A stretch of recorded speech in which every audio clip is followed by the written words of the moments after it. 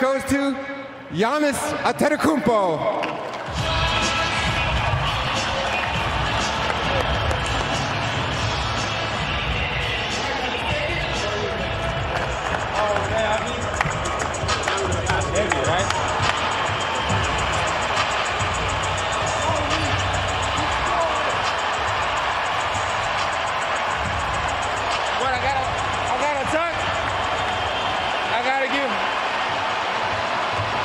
Giannis, congratulations on the MVP trophy. Thank you, thank you. It's Sunday, but the bank was open for you today. Quite a bit, actually.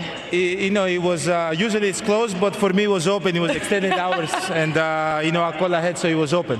What's it like when every shot's just going in like the way it was tonight? No, it's fun. You know, it's fun. Um, I was happy. My teammates had fun, and you know, just being around great players is just easy to play with.